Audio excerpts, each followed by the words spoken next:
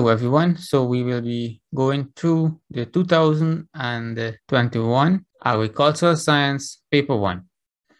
So I'll go through it as quickly as I could possibly go through these questions. So the first question, marketing can best be described as A, we have value added, farm products, selling goods produced on the farm at the marketplace, buying goods from the market to be sold to exporters, or moving goods and services from producer to consumer.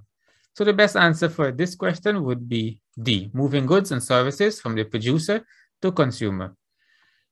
Biodiversity refers to the impact of humans.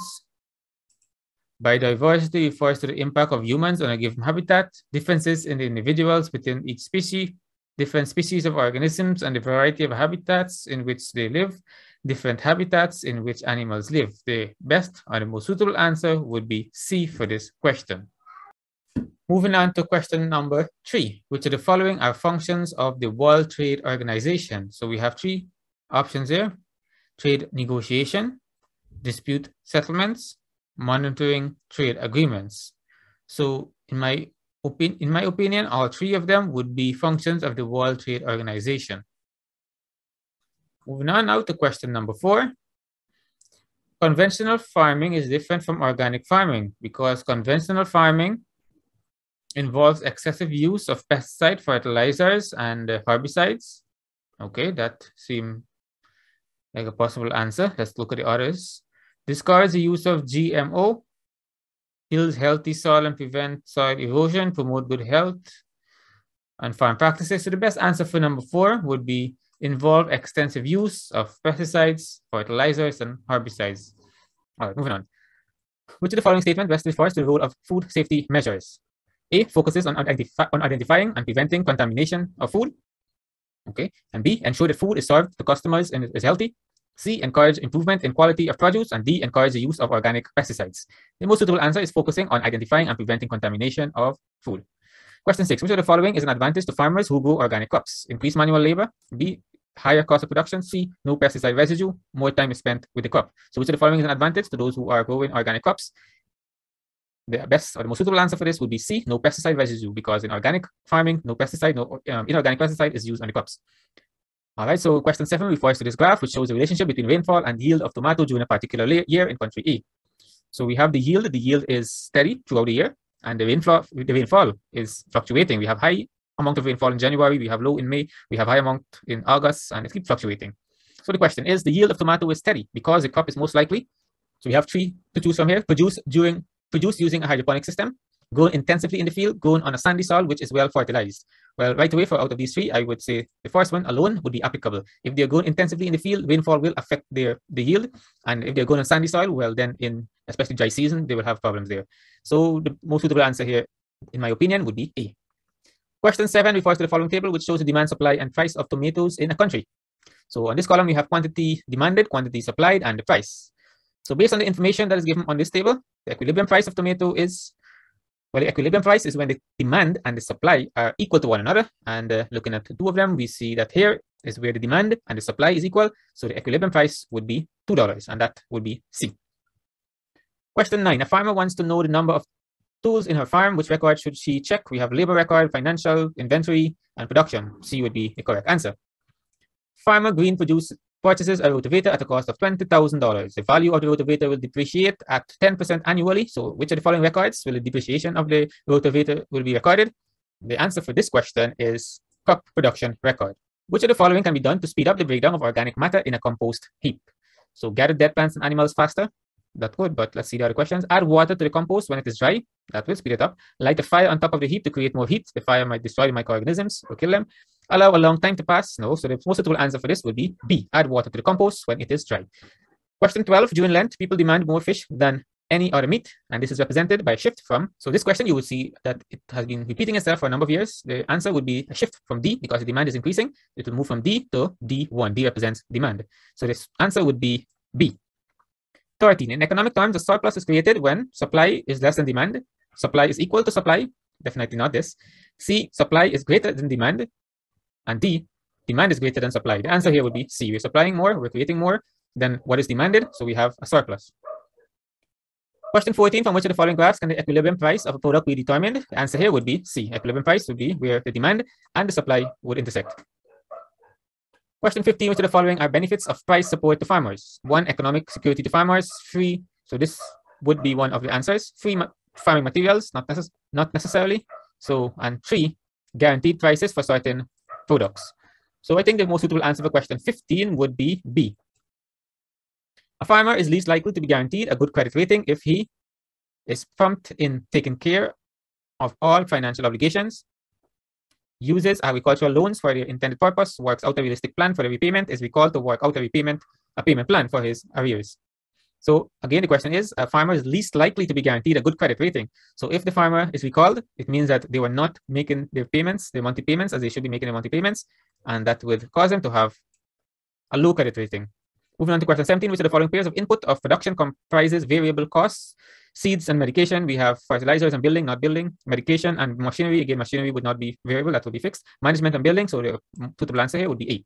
Which of the following is not a likely role of agricultural cooperatives? Provide scholarships to farmers, assist farmers in marketing of produce, access, access government support, and enable farmers to remain in business. The most suitable answer would be A. 16. Which of the following statement describe partial budget? A. It contains all income and expense items. No, that would be a complete budget. It allows for the profitability of different farms to be compared. It contains only those items that are considered fixed costs. It is used in a situation that require a change in the farm plan. Yes. D was the most suitable answer here. Question D. For the following information for farmer Brandon's 1000 unit of 1000 unit broiler farm. So we have some information here using the information on the table. The gross farm input for farmer Brandon um, broiler farm is gross farm income, sorry, the gross farm income. So all of the income, you add up, you total up all of the, the income here, and that would be the gross income. So the number of boys is 1,000. The average selling price per boy is $20. $20 multiplied by 1,000, that should be 20,000, and we have the answer here as D. Question 21.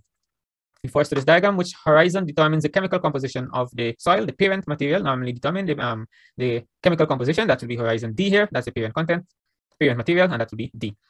A bag of mixed fertilizer is labeled 7, 14, 21. What is the ratio of nitrogen to phosphorus in this fertilizer? Remember, N, before it's the 7 here is referring to N, nitrogen. 14 is referring to phosphorus, and uh, 21 is referring to potassium. So the nitrogen to phosphorus is 7 to 14. 7 to 14, that's 1 to 2, a ratio of 1 to 2. A would be the answer.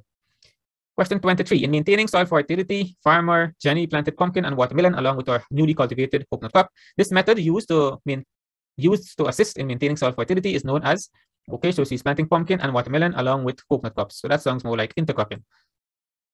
24. Burning as a form of land clearing is highly discouraged because it leaves the soil black, breaks down soil texture, increase atmospheric temperature, remove valuable nutrients from the soil. So most suitable answer here would be B. As for removing valuable nutrients, when the ash would contain some form of nutrients, so I would not, I don't think that D would be the most suitable answer here. The equipment is used to measure this equipment here. Well, this looks like a rain gauge, so it should be checking the amount of rainfall. Should be measuring the amount of rainfall. 26, a type of germination where the cotyledons abo appear above above the ground. That's epigeal. Hypogeal, the cotyledon will remain below the ground.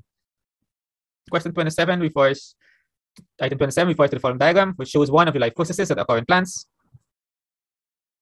We have P and Q here. So this looks like photosynthesis, where we have carbon dioxide and water used by the plants and produce uh, food along with oxygen gas. So let's see the question. The atmospheric gas being utilized by the plant at P in the diagram above is, well, as I just said, that would be carbon dioxide. 28, the transfer of pollen grains from the anther of one plant to the stigma of another plant of the same or closely related species is known as. The main point to note is that it happens on another plant. So it is cross-pollination. The process by which plants lose water in the form of vapor in the air, that's called transpiration.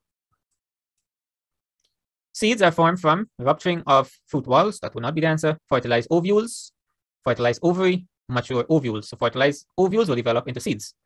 The use of living organisms to control weed is a practice known as, once you're using living organisms, that would be biological control. Moving on to 32, when a single, when a cross is made between parents having a single difference in trait, this is known as single trait, that will be monohybrid cross. Which of the following activities will cause soil erosion? Overgrazing, yes. Land clearing, yes. Excessive rainfall, all of these things can cause soil erosion, so the answer here would be T. A tall pigeon pea plant with the genotype TT is crossed with a dwarf pigeon plant with the genotype TT. What is the possible phenotype of the offspring? So if we have a small Punnett square, we can probably represent it. All right, let's undo this. Let's start it. So we can probably have a Punnett square here. possible phenotype of the offspring. So one of the offspring, one of the one of the parent have a genotype of T, and the T, sorry about the writing, it's not so clear, and the other parent, a genotype of 2 common T, mm-hmm. recessive. So we have a dominant here and a recessive, so that will be a dominant along with a recessive. Then we have this 2 again, so we have a dominant and a recessive, and these two will be 2 recessive. All right, so we have a T, 2 recessive. So two, two are heterozygous pairing and two homozygous recessive. So the question is asking us which what is the possible phenotype of the offspring? Three tall plants and one short plant, that would not be correct. Two tall plants and two short plants, yes, these two would be tall and these two would be short. So the answer for this question would be B. Moving on to question 35, which of the following pest control method are combined in the integrated pest management approach? So cultural, biological, medicinal, no, that doesn't sound right. Cultural, biological, mechanical, conventional, biological, medicinal, not really. Conventional, biological, mechanical, and chemical. Now, now this is a tricky one. B, we have cultural, biological, mechanical, and chemical. So B would be B would be the correct answer for this question. Which of the following is most likely to occur when crops are grown in an area with high relative humidity? An increase in incidence, increased incidence of fungal disease. Which of the following is not a benefit of farm mechanization? Uh, farm operations that perform on time, that's a benefit. Better yield and quality of produce, that's a benefit. Improved standard of living for rural farmers, all of those are benefits. Increased losses in crop handling, that's not a benefit. So D would be the answer for 37. Question 38, which of the following types of chemicals can be applied to treat early blight in tomatoes? Well, well, early blight is caused by a fungus, and to treat this disease, you would need a fungicide. A field of cabbage shows sign of heavy infestation by cabbage white butterfly larvae, which are the following symptoms are of are the plants most likely to show. So if it is a larvae, most likely they'll be feeding and damaging the leaves.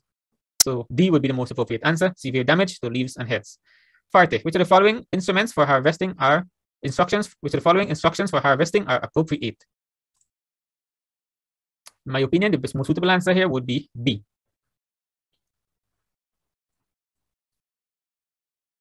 So question 41, 42 refers to this diagram here.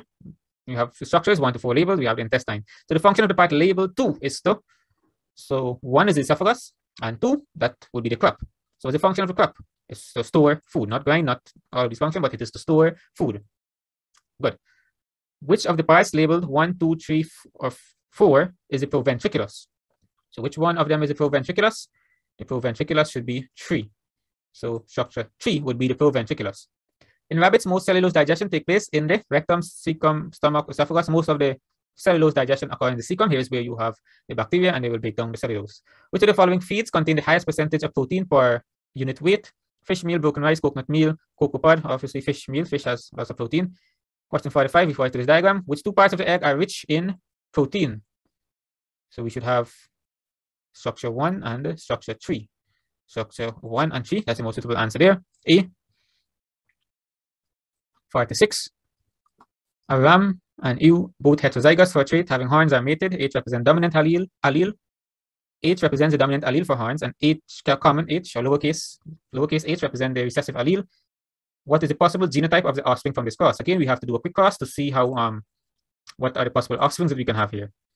So let's draw a square box where we can have a Punnett square. So both heterozygous. If both are heterozygous, then both would have uppercase and a lowercase. Uppercase and a lowercase. So here we have a homozygous dominant allele. here we have a heterozygous dominant pair this is another heterozygous here, and then we have a two recessive allele, homozygous recessive. So what is the possible genotype of the offspring from this class? So we have uh, not A, B, C. C would be our correct answer. So C would be our correct answer based on what we just worked out. Out, out of a herd of 12 offsprings, how many will most likely be homozygous recessive for the horn trait? out of the herd of 12, how many will like will most likely be homozygous recessive? So out of four, one of them was uh, homozygous recessive. So four trees, 12, so the answer would be A. A likely disadvantage of artificial insemination in cows is less disease transmission, less technical skill required. No, you need more. Cross breeding of local stock, more technical skills. Yes, you need technical skill when you are carrying out artificial insemination. Eggshell can be used as a feed supplement for layers because it contains the eggshell is calcium carbonate, so it has lots of calcium. Which of the which white breed of pigs is noted for being excellent mothers, producing large litters and having deep body? I think the answer here should be C. The disease of rabbits characterized by runny nose, coughing, sneezing is most likely, that sounds like snuffles. Artificial insemination has become increasingly popular in the Caribbean in recent years because it ensures that conception does take place. More trained technicians are willing to assist. It is like it is a less costly way of upgrading local animals. Regional government have been expanding the service. I think the most suitable answer here would be A.